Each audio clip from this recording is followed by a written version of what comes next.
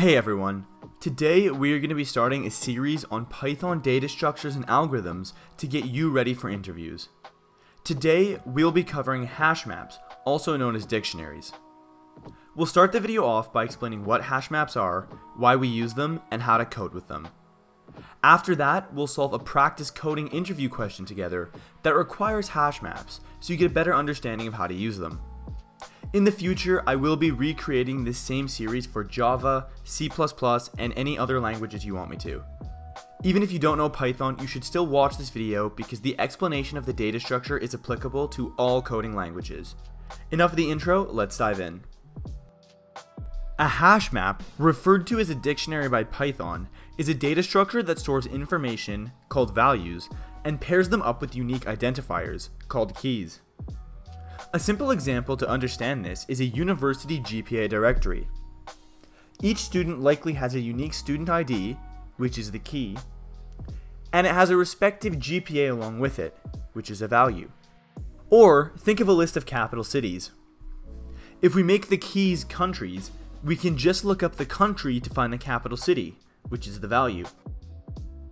Hash maps are useful for two main reasons. The first is, when working with big software systems, readability becomes incredibly important, and being able to customize keys can be quite helpful. The second is that hash maps allow for searching of specific values in O of 1 runtime, which is faster than arrays and linked lists, which have a search time complexity of O of n. Now you know what hash maps are and why they're useful. But let's dig a little deeper and understand how hash maps actually work. Hash maps are commonly built off of a predefined data structure like an array. Like hash maps, arrays do also have keys that store values. For arrays though, the key is a preset number called an index, which starts at 0. A hash map is created from an array through the use of a hash function, which takes in a custom piece of data that we want to assign to a key, like a country from our earlier example, and maps this data to an index on the array. These hash functions can get complex, especially as they have to tackle issues that come up when mapping data to indices. The most common issue that comes up is called a collision, and occurs when a hash function tries to assign a piece of data to an already used index. In this case, the hash function has to have some efficient way to reassign this data to a different, non-used index. Hash functions are a bit outside of the scope of this video, and in almost all modern programming languages, hash maps are already implemented, so you don't have to worry about building them yourselves. The one thing you should know about hash functions, however, is that once they map data to a key, they cannot change this key. This means that any key in a hash map must always be immutable. If you try to assign a mutable type of data as a key, such as an array, you will get a type error that says unhashable type. If you see this error, it means you tried to assign a mutable data type to a key. To fix this, simply convert the data type to something that is immutable. As we got the error from using an array, our solution would be to convert it to a tuple, which makes it immutable. Now, this tuple can be used as a key. Hopefully it's all coming together, and you can start to understand why hash maps are efficient. If we used an array for our capital city to country scenario, we would have to make something like this. For a program to find a capital city, they would have to search through every single index until they reached the correct value. With a hash map, the program just has to receive the country name. From here, it can put the country name into the hash function, which spits out the right index without needing to go through every element in the list. It's time for us to look at how hash maps are actually implemented. In many languages, hash maps have different names. When it comes to Python, hash maps are called dictionaries, but I generally refer to them as hash maps anyways. We first create a hash map by initializing it. Let's call ours city map. We can initialize it in either of these two ways. Now, let's add our first key value pair. I want to add in Canada as a key, and have an array of cities as values. To do that, this is our syntax.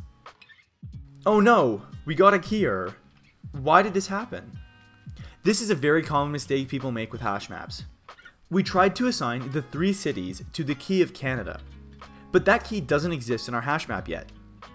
So we first need to initialize this key. Now we can add these cities to this empty array. And this is what our result will look like after this. Here's a neat trick.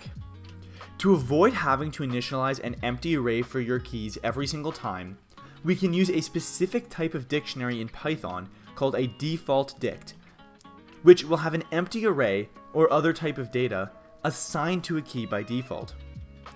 Here's what the code would look like if we chose to do it this way. One of the reasons Python is awesome is because of its huge library, and this is a prime example of this. I highly recommend taking advantage of default dicts for solving coding problems, as it's an incredibly useful feature that will help you avoid unnecessary mistakes. The other major thing you should know about hash maps is how to retrieve information from them. There are three methods for this. Dot keys, dot values, and dot items. The dot keys method returns all of the keys from the dictionary in the form of a list. Dot values method works very similarly, returning all of the values of the dictionary in the form of a list. And dot items is a combination of the two. It returns a list of all of the key value pairs as tuples. Here's an updated version of our city map from earlier. As you can see, it now has multiple countries and cities. If we wanted to get a list of only the cities, we could do so by calling the dot values method like this. Now we have a list of cities in CityList that we have extracted from the hash map. Great, now that we've learned how hash maps work and how to code with them, let's use our new knowledge to solve a popular coding interview problem. The question we are going to be taking a look at is LeetCode 49 group anagrams. We are given an array of strings, and our goal is to return an array that groups all of the anagrams together. If you don't know what an anagram is, it does give a little explanation. Basically, an anagram is a group or pairing of words where all of the words have the same amount of letters. Let's take a look at example 1 to understand this a bit better. As you can see, we are given six different words in the strings array. Bat is put on its own because it is the only word in the group of six that has one A, one B, and one T. Nat and tan are grouped together because they both have one A, one N, and one T. And the same thing goes for 8, eat, and T. Okay, great. Now we understand the problem. How do we solve this? Your first instinct might be to think that we should go through each of the words in strings and compare that word with all the other words. So for example, we could start at eat and check, okay, it has an A, an E, and a T. What about T? Oh, they have the same letters. Let's group them together. Now let's compare eat and tan and go through them that way. However, if you did that, it would become incredibly inefficient as the length of strings got longer because we have to check for each element in strings, we are checking every other element. This has a time complexity of n squared. What if there's a more efficient way of doing this? I'll give you a few seconds to stop and think about how we can go through this a bit better. Now, we've come up with an idea for how to solve this in O of n squared time. But can we make this better? What if we could go through each element only once and check if it's an anagram from there? That would be a solution in O of n time. Seeing as this is a video on hash maps, you've probably already started thinking that we could use a hash map to solve this. If you're on that train of thought, you're absolutely correct. But how are we actually going to be using this hash map? I'll give you a few seconds to think about that. Okay, if you need more time, pause it here, but now we're going to go through the solution. Basically, we want to go through each word in the strings and check if its combination of letters is already a key in the hash map. So, we would get to eat and check, is the combination of 1A, 1E, and 1T a key in the hash map? If it is, add this word, eat, to the array associated with that key. Then let's check T. Is E, A, and T already in there? Yes, it is. We just saw it. So now let's add t as another value in that array associated with that key. This process will continue until we've built out a full hash map. From here, all we have to do is go through each of the values in the hash map and append them to our array. So let's get started on the coding process. The first thing we need to do is actually create our dictionary or hash map. I'm just going to call mine anagram map because this is kind of the simplest way of understanding what it does. We also know that our result has to be an array. So we're going to be creating a result as an empty array for now. We'll be adding values to it later. The first thing we need to do is go through each of the words and check if it's an anagram and for which anagram it is, we need to add that to the anagram map. So we'll say for s in strings, so for each string.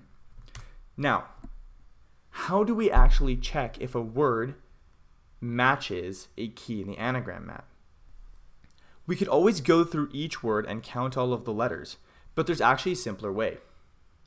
In Python, you might be familiar using the sort method, which allows you to sort a list of numbers either in ascending or descending order. But you can actually use the sort method on words as well. If we use the sort method on a string, it will sort that string in alphabetically increasing order. As you might be starting to find out now, this is how we're going to solve this.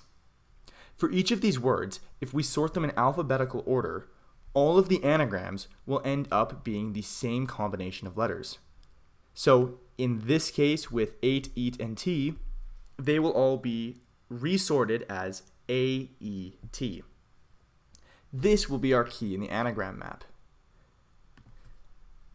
Now, once we have figured out what the sorted version of each of these words is, we know what the key is.